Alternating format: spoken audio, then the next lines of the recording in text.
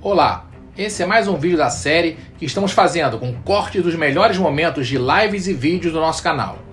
Compreendemos que muitas pessoas não assistem conteúdos longos por falta de tempo ou interesse, mas não queremos que elas percam algumas riquíssimas informações que são dadas nesses vídeos. Por isso recortamos esses momentos em vídeos curtos, pensando em todos vocês.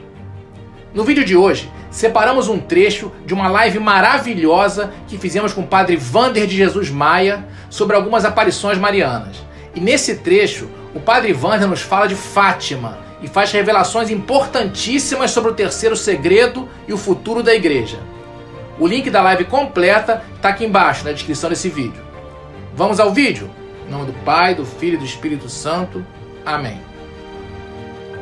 Fátima é um marco. Vamos falar um pouquinho dos videntes. Os videntes, que também foram tão. Sofreram, ah, padre, sofreram horrores, foram até muito torturados, nossa. Muito, muito, muito, Marcelo, e tão pouco compreendidos. O Padre Vitor Souza, ele, ele, ele coloca muito bem. Eu vi aqui, só um flash, aquele corte que vocês fizeram Alguém me mandou, excelente, excelente. Ele é um estudioso, um tremendo estudioso, mas tem um outro sacerdote que eu gosto, eu gosto muito, o padre, o padre Ramiro Sanz. Ele é sobrinho do padre Alfredo Sanz, que é escritor daquela famosíssima História da Igreja em cinco volumes. E o padre Ramiro Sanz, ele fala uma coisa, Marcelo, ele fala, Fátima também foi totalmente distorcida.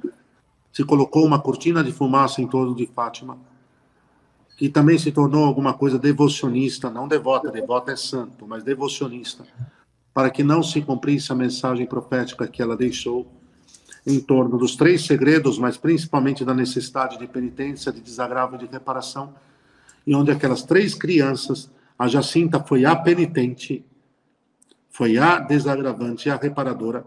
Essa menina morreu com o um lado aberto por causa da cirurgia para extrair a parte do pulmão que havia putrefado pela gripe, pela gripe espanhola, que foi uma espécie de SARS de época, de SARS-CoV de época, só que lá de fato real. Só que lá de fato real. Essa menina foi configurada a Nosso Senhor tendo morrendo com o seu lado aberto. Nossa. Marcelo, com o seu lado aberto, como Nosso Senhor na cruz. Essa menina sofreu do abandono, da solidão e claro que Nossa Senhora ela, ela diz claramente que Nossa Senhora a, a fez companhia, mas o, está na biografia o Padre Ramiro Sanz ele fala Fátima era um clamor a penitência, a conversão, a consagração da Rússia ao Imaculado e Santíssimo Coração de Nossa Rainha e quer dizer veja vejam prestem atenção Desde o primeiro momento, as crianças entraram com tudo. O Francisco era uma candura, era uma inocência, era uma candura, uma inocência. Mas vejam, o antes de 13 de julho e o depois de 13 de julho é impactante. É impactante como elas entram na guerra contra as trevas e pelas almas, restituindo a Deus a adoração, o louvor, a fidelidade, a obediência que se tem que dar mas entram de uma forma assim, Marcelo, rasgada, a ponto de Nossa Senhora mesmo, como mãe maternalmente, ter que dosar a, a, a penitência da Jacinta. Sim. Só para as pessoas que não sabem, 13 de julho ela mostrou inferno para eles, só para quem não. Isso aí mudou, o pai tá dizendo, mudou de vez a... a. A graça sobre. Elas tiveram uma graça infusa de compreensão das almas, da graça, da santidade do céu e do inferno. Naquele dia, as três crianças, Marcelo, receberam uma graça infusa, portanto, dada pelo Espírito Santo, não? Sim. Portanto, dada pelo Espírito Santo. E por essa graça infusa, elas chegaram a uma compreensão do mistério das almas, da graça, da santidade do céu e do inferno, que a maior parte dos teólogos sérios não chegarão durante a sua vida. Marcelo, estou falando teólogo sério. Eu não estou falando herege. Eu não estou falando herege. Estou falando de teólogos sérios E aí nós vemos como as crianças entraram com tudo. E Fátima tinha no seu coração os erros da Rússia, os três segredos, os erros da Rússia, o inferno, a visão do inferno, e enfim, uh, o atentado ao homem de branco e o sofrimento, o martírio da igreja. O homem de branco era São João Paulo II. Tenho para mim, tenho para mim, Marcelo, isso também é uma análise minha, que não. Eu pessoalmente concordo com o senhor, padre. Não é? Tentou-se falar, até, ah, mas a própria vidente disse que era, mas não. Não. Você não Foi disse... diferente. O que está ali, você leu essa, essa visão desse segredo, é um papa, elas, elas mesmo na hora viram que o bispo de Branco era um papa, mas, mas o que acontece com ele subindo aquele monte, prostrado de joelho, é morto por setas, soldados, não, não, não, não, não, não se encaixa com, não, não. com, com aquele atentado, né? Não, não se encaixa, não se encaixa. Marcelo, o atentado de 13 de maio de 1981, ainda que com toda a conotação de ter sido às 5 horas e 17 minutos no horário local de Roma, 5 e 17 da tarde, é 17 e 17.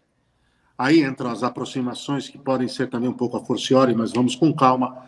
De qualquer maneira, 17 e 17 remonta a 1717, o ano do nascimento da, do McDonald's moderno. Sim. Sim. Sim. Né? O, ano, o McDonald's é antigo, hein? Eu não sabia que o McDonald's tinha nascido em 1717. Bom, remonta a tudo isso, mas muito bem, não é. Eu tenho convicção que não é. Concordo. Ah, aquele atentado de 13 de maio de 81, perpetrado pela, pela, pela, pelo serviço de inteligência russo, que, que contratou um atirador de elite, que era o Mehmet Aliaka, um, que não erraria nunca, isso sim, o próprio São João Paulo II testemunha que ela desviou a bala com a mão, a bala que um centímetro mais para dentro teria matado ele na hora. Mas muito bem, mas não é, Marcelo, não é. Uma série de caracteres mostra que não, que ainda não se cumpriu.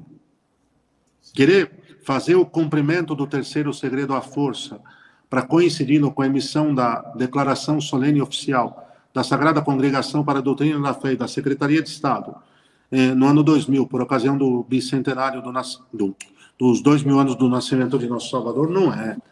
Não tem cabimento. Outra coisa, outra coisa, Marcelo, o Blue Army, o Blue Army é um movimento que nasceu nos Estados Unidos para difundir a mensagem de Fátima. Ah, eles mudaram totalmente o direcionamento das coisas. Tanto que os maiores especialistas de Fátima do mundo nos últimos tempos, o falecido padre norte-americano Nicholas Gruner, Marcelo, eu vou ver se eu consigo o link. Se eu conseguir, eu te mando. O link da última conferência que ele fez em Fátima está com tradução simultânea lá no próprio local de uma brasileira, tanto que a voz dela se sobrepõe a dele.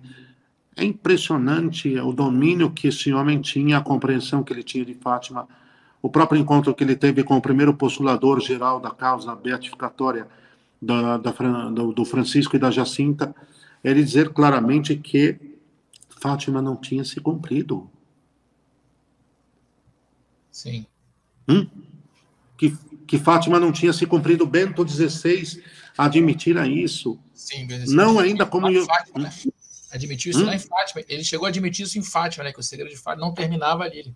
É claro. Basicamente admitiu isso. Quem prestou atenção percebe que ele deu a dica. Olha, não terminou, não foi só aquilo, tem mais. Né?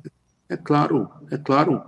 Um, o que acontece é que muito bem, mais importante do que o próprio terceiro segredo, mas a terceira parte do mesmo segredo, como queiram, é a explicação que a própria Virgem Santíssima deu a Lúcia do, do que ele significava e, e, e nada, não, não, não, se tem nada sobre isso.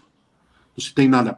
Porque quando ela aparece a Lúcia, mais tarde, a Lúcia já, já, já irmã, já religiosa, no noviciado da congregação das irmãs Doroteias e Santa Paula Fratinetti, na, na cidade de Pontevedra, diocese de Tui, na Espanha, ela aparece dizendo: É chegado o momento da consagração da Rússia ao meu imaculado coração. Nós temos aqui 1925 e 1929, Marcelo. É chegado o momento da consagração da Rússia, aqui em 25, propriamente dito, ao meu imaculado coração. O ano da criação da solenidade de Cristo Rei por parte de Pio XI. Uh, é chegado o que que o que que o que que alguém entende pela afirmação é chegado o momento. Hum? Era necessário fazer ali naquele agora que estava. Agora, agora até porque ela ela reafirma isso em 29, Marcelo. 14 a 18 foi a primeira guerra, o terceiro o terceiro segredo se, se, se não fizerem a consagração, virei a pedir a consagração da Rússia ao Imaculado Coração. Se a Rússia não se converter, espalhará seus erros pelo mundo e, e virá uma nova guerra maior do que a que estava acontecendo em 1917. A Primeira Guerra termina em 1918. Os sofrimentos do Santo Padre será terrível. Nós vamos ver o sofrimento de Pio XII. O sofrimento de Pio XII foi terrível. Há uma foto de Pio XII no dia em que ele foi coroado Papa, Marcelo. Pegue essa foto do dia em que ele foi coroado Papa e pegue essa foto do período após o fim da, da Segunda Guerra. Portanto, uma diferença de somente seis anos. 39 ele foi coroado Papa, uh, 45 terminou a guerra. Em seis anos ele envelheceu 30. Ele envelheceu 30. O que que, então, em 29, 29 a Primeira Guerra termina em 18, 29 é a metade do caminho entre a primeira e a segunda. A segunda é em 39 que começa. Você tem 18, termina a primeira, mais 11 anos, 29, mais 10. É a metade certinho, Marcelo. A metade certinho do caminho entre a primeira e a segunda guerra é, uh, é 29. Sim. Era e ela aparece, ela aparece para dar o remédio.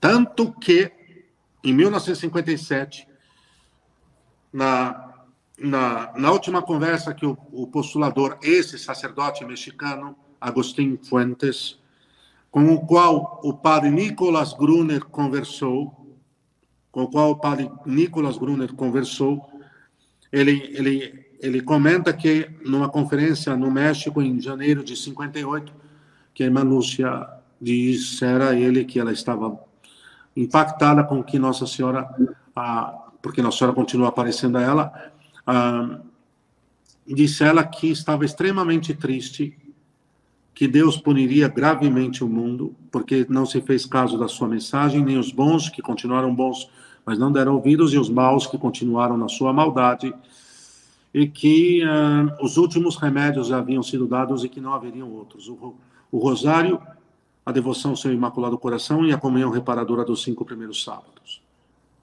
Por que, que se fez isso?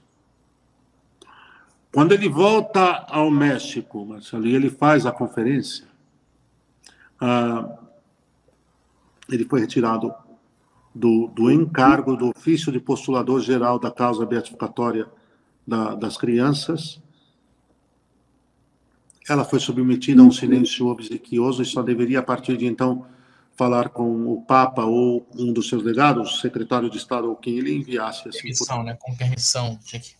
Foi a última entrevista. A última entrevista que ela deu, tem até aquele vídeo que o senhor falou do nosso canal, né, que é sobre isso. A última entrevista que ela deu para o Agostinho Fuentes, depois daquilo tudo, falaram: olha, a partir de agora, se for falar alguma coisa, só com o Vaticano autorizando. Mas nitidamente ali, o que ela fala ali é gravíssimo. Gravíssimo, gravíssimo, gravíssimo. E há um outro detalhe me parece que a curva, a inflexão para, para que se desse a conhecer o, o, o terceiro segredo e a sua explicação era 1960. Tanto que o que, que vai acontecer em 61?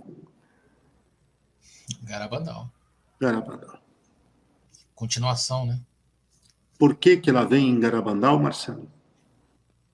Porque ela não foi ouvida porque ela foi ignorada, porque não se tomou a pé tudo aquilo que ela estabeleceu.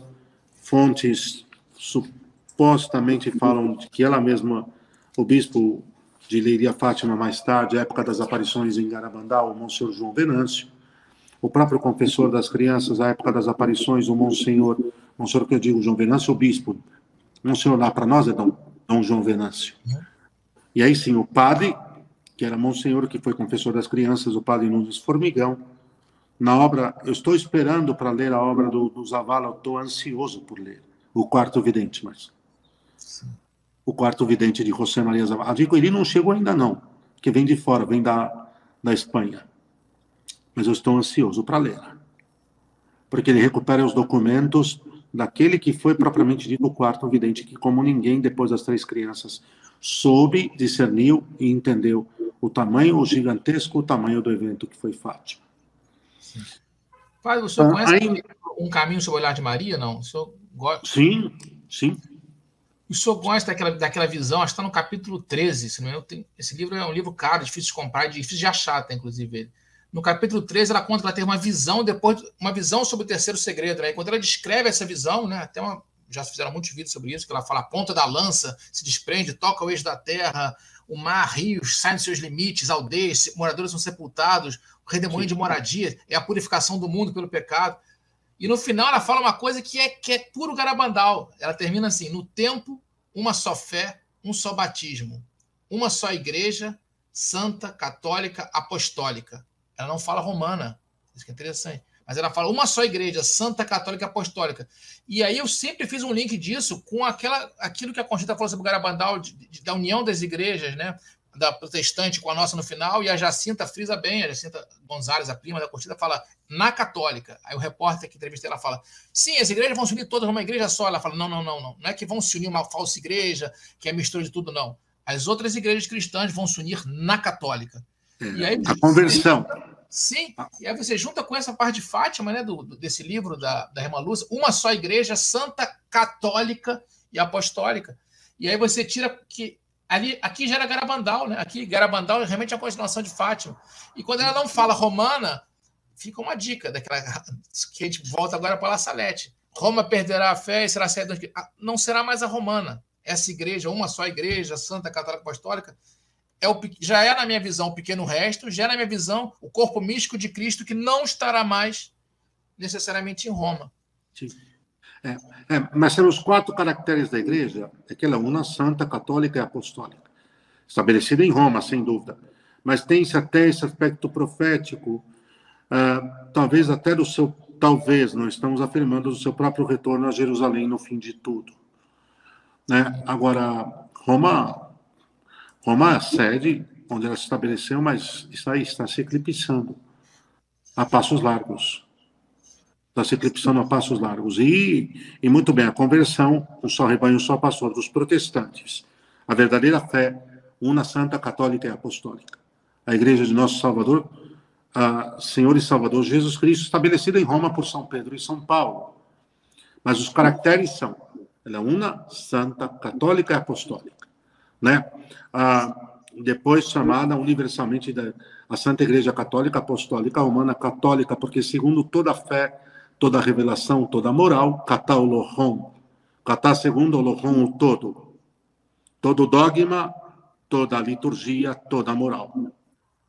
Bimilenar, incontestável nos séculos, apostólica porque vinda dos santos apóstolos, fundada por Nosso Senhor e confiada a eles com primazia de São Pedro, e porque se estabeleceram em Roma, onde os dois sagrados, os dois grandes apóstolos, o, o gigantesco doutor das nações São Paulo, que se junta a eles por desígnio divino, e os pais da nova Roma.